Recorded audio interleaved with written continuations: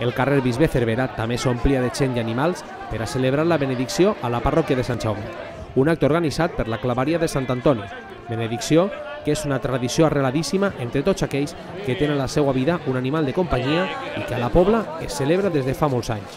Hem celebrat la bendició dels animals de Sant Antoni Abat i és molt important pues, aquest patronatge de Sant Antoni bueno, i la costum parla pues, que ell era pues, un monjo eremita i els animals pues, acudien a ell, per a buscar la protecció i per a buscar el cuidado. I això és el que recordem i celebrem tots els anys en les dues parròquies de la Pobla. Bé? I ahí pues, bueno, estan les clavaries que se preocupen pues, bueno, pues, de, de recollir un pocs recursos per a que aquesta festa pugui anar.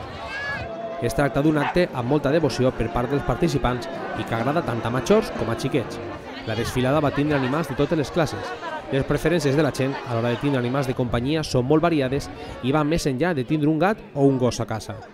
He vingut a la bendició a beneir a la meva tortuga Rita. Preferís tindre un furó, saps, en lloc d'un gos i tot això, que també en tinc una, però bueno, i que no té l'anyet, el furó, i bueno, l'he tret així perquè me'l beneïsquen.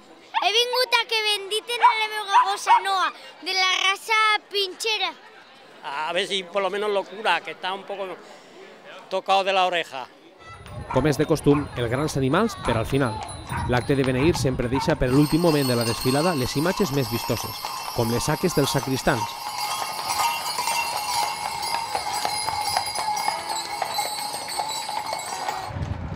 Els xenets amb els seus cavalls i els grans carruatges. Tots tingueren la benedicció de Sant Antoni junt al pa i un regal de la clavaria.